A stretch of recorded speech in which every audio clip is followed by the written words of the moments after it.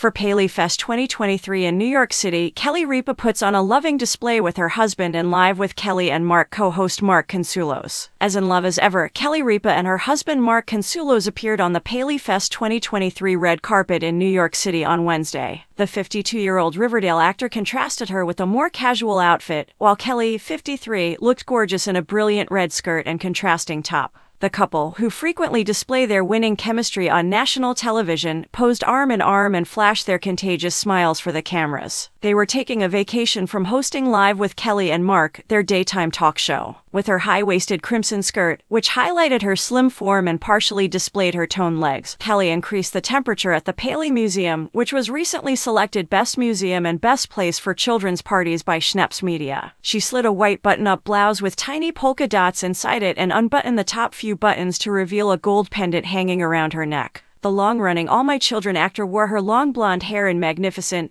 thick strands all of Veronica Lake, almost to the point of concealing one eye. He completed his Paleyfest ensemble with dark brown shoes, a silver luxury timepiece, and matching dark blue pants and sweater. When Mark replaced American Idol host Ryan Seacrest on the second half of the bill earlier this year, Kelly and Mark's show underwent a significant makeover. Mark's replacement of him was a logical choice because he and Kelly already got along well thanks to their years of marriage and because he has been a dependable guest presenter for many years. David Muir, anchor of ABC World World News Tonight had been scheduled to sit down with the talk show hosts and anchors at the television focused festival for a conversation, but he had to cancel after flying to Israel to cover Israel's bombing of the Gaza Strip in response to surprise terrorist attacks by Hamas. They provided a much needed boost of star power as the ongoing SAG AFTRA strike against the AMPTP, the group that speaks for major studios and streamers, prevented PaleyFest from getting the majority of actors to promote their current projects. On Wednesday, negotiations between the union and the studios were restarted, but the studios later withdrew from the talks because the actors had asked for a cut of the streaming earnings. In order to keep up with inflation, they also demanded an increase in basic pay, but the studios resisted, according to Variety.